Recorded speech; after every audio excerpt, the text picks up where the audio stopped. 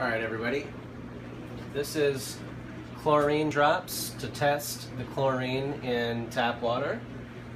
And this is, you know, and we could test to see if there's any chlorine in the Kangen water.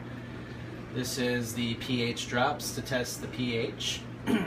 As you can see, uh, you know, the lower the pH, the more orange and yellow colors it's going to be. Neutral is green, around greenish blue and Kangen water, which is alkaline water, is going to be purple. So today, it's a really hot day. My wife and I are going to go out. Uh, you know, I filled this up with Kangen water 9.5 and a bunch of ice that was made by Kangen water 9.5. It's really hot today.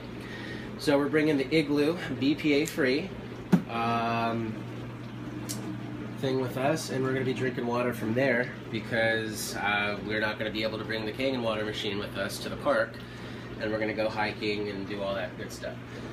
So I just want to start out by showing you tap water.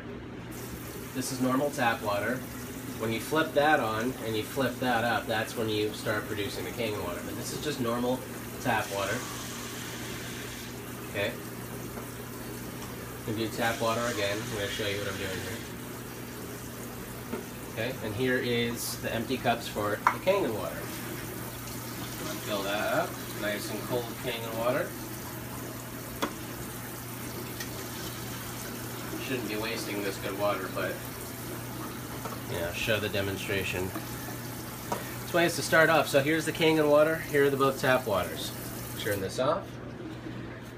Now I'm going to start off with the chlorine. Check the chlorine.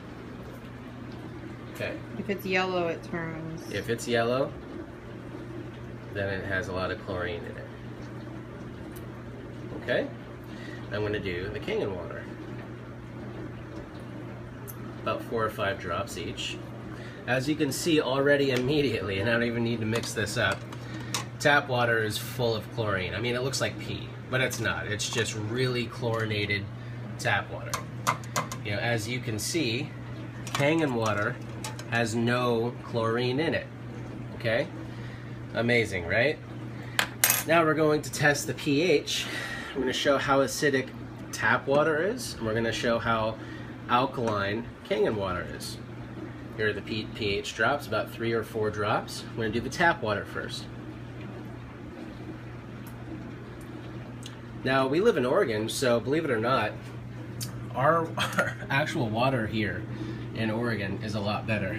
As you can see, this is, see our tap water is around 7.0, 7.8. So it's going to be a greenish blue. So that's actually pretty good. Better standards than most places in the United States. Okay? But, look at all that chlorine that's still in there.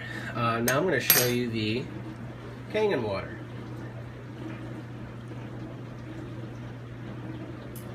Wow.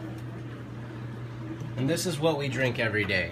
It's this beautiful, delicious, antioxidant rich, hydrogen rich, delicious Kangen water. Now do you see? Anywhere from 8.5 to 9.5 is the Kangen water.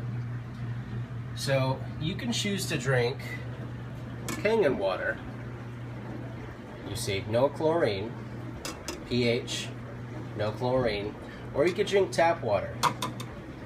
I mean, I, I don't, I, I, I mean, this is what they're hiding in your water. You can't see it. You need pH and chlorine drops to show you, but I mean, that is incredibly acidic.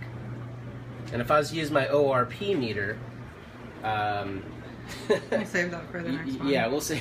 You'll be able to see how acidic and oxidizing this really is for you. This is both tap water. This one's used with the pH drops, this one with the chlorine. This is Kangen water. This used with P, uh, pH drops, this with the chlorine, obviously. No chlorine whatsoever, incredibly alkaline. So, that's it.